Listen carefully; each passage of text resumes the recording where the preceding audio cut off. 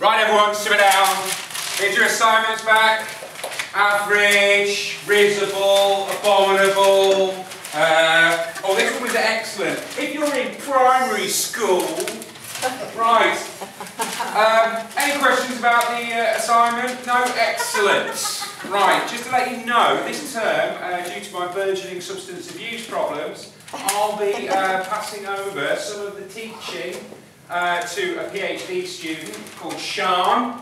Um, she's got all my PowerPoint slides, so you'll be able to uh, go through the assignment very quickly. It's all on Blackboard as well, obviously, don't forget that. Um, yes, so this will all be tested at, at the end with another assignment, which hopefully some of you will be able to engage with in a slightly more proactive way. Goodness me. Right, Sian, do you want to just take over now? All right, cheers. Uh, I think you need to talk about your feedback first. What, what feedback from your students? No, but they're talking about their Oh, right, okay. What did you get? Well, I get what I passed, so what else do I need to know, really? How are you going to develop? What? What was good and what was bad? Well, who cares? I passed. What, what? The pub is calling, for God's sake, You Rob. improve.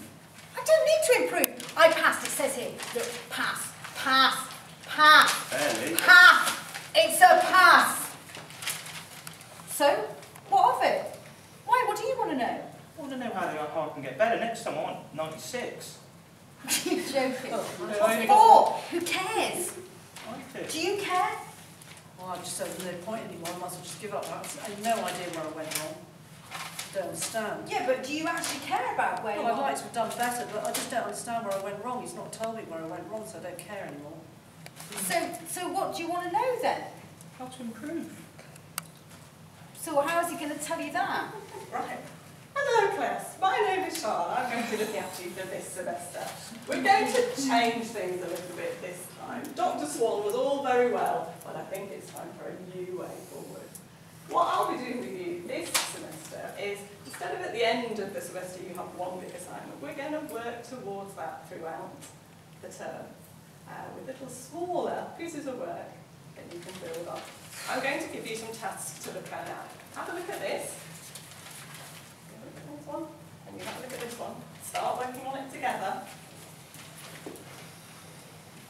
Is there anything you don't understand on here?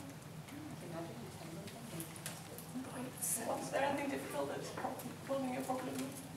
Can we come in and have a read and then get back to you on that? Is that all right? Yes, that would be good. You can send me an email. You could post a question on Blackboard if you want to. There are things which uh, need a bit further explanation.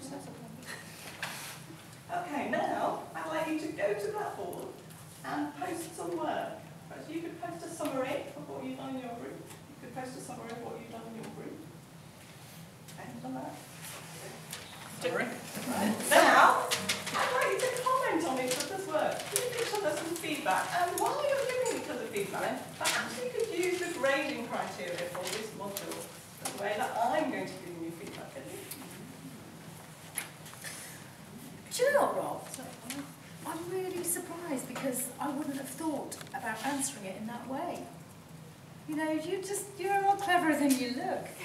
I really liked the way you summed up your story throughout as well. I don't think I'm creative enough to have pulled that off. I really liked that. That was really You're good. so right. I I'm might good, take I? that. I might take that and use that in my next assignment. Oh, thanks very much. It's quite good, this feedback thing, isn't it? You know? I've learned something. Yeah. We're good. Are you two good? I, I think um, this shows that we've improved quite, we've improved our first draft a lot. We've got a much better idea where I'm going now. At least I know where I was going wrong. I've got a better idea what I need to do in the next assignment, so that's good. And um, we asked our tutor for some help as well, and um, they've really put some... You know, she even emailed me back within a few days. You know. So now can we go to the pub? Right, here's your final sentence there. I think it might be It's your final piece of work there. There you go. Before you look like you to think about some things to do with that feedback. So, first of all, look at the grade. Decide how you feel about that grade. Do you feel disappointed? Do you feel happy? Do you feel pleased? Satisfied? Think about those feelings. Now, put that feedback away for a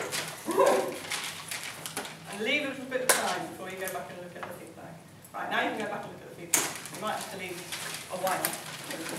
and I want you to, to set out 20 to 30 minutes to work with that feedback. Think about what you're doing with feedback. Here are some guidelines. Read through to the end of your feedback and make some notes. Underline things where you where you think it's positive, where you agree, where you disagree, and where you don't understand things. You could use coloured pens if you like to. At the end, look at the grade. When you've done that, look at the grade again and see if you understand how that grade was reached. Now take a separate piece of paper and write down one or two action points that you're going to follow after this piece of feedback. What are you going to do in your next piece of, piece of work? What are you going to change in the way you do your next piece of work? And write down then if there are any puzzles or confusions that Colin oh, you've still got about that piece of work and your performance on it. And then the very last thing to do is to make an appointment to see me to talk about those questions. I'll make the first appointment. So then you can get to the point. Right, I'm back from my spell in the Priory and I see I've got feedback all wrong.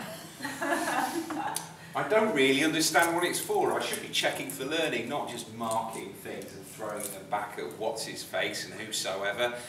I think really I should be doing it in a more informative way. It's not just all about the final mark. I feel like I've really let these students down and I really need to change my practice. But I'm retiring in three months, so I'll probably just stick to what I know. Oh. We're we go. happy students.